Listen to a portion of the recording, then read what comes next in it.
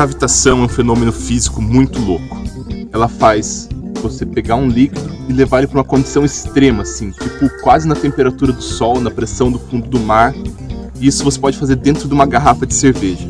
E hoje a gente vai fazer isso. A gente vai usar a cavitação para explodir uma garrafa de cerveja. A gente tem aqui uma garrafa de cerveja. Você pode fazer com qualquer garrafa de cerveja que seja branca.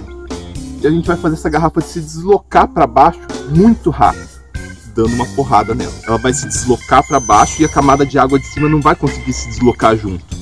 Nessa parte vai criar um. O que você tá falando, Beck?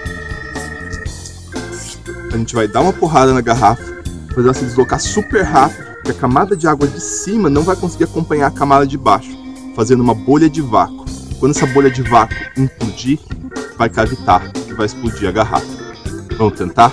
Primeiro com água, depois com cerveja. Tem que segurar a garrafa de cerveja bem e bater com força, com vontade.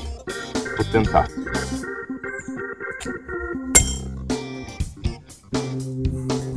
O barulho de cavitação teve.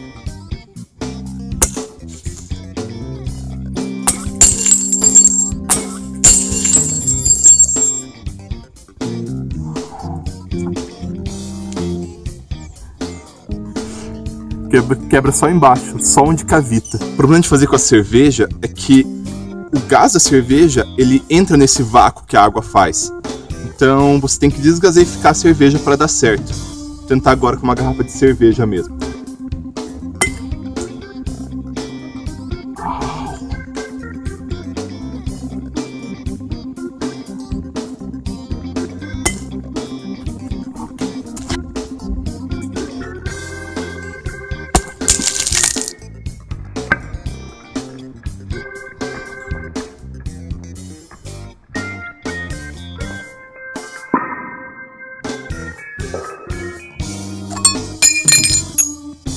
Use sempre proteção. Isso dói pra caralho. Cerveja é isso aí, é ciência por todo lado, é química, biologia e agora física na cerveja. Se você gostou desse vídeo e é a sua primeira vez aqui no canal, não se esquece de se inscrever. Se você já é inscrito, por favor, clique em curtir e compartilhar. Até semana que vem com mais um episódio do Beer is Cool.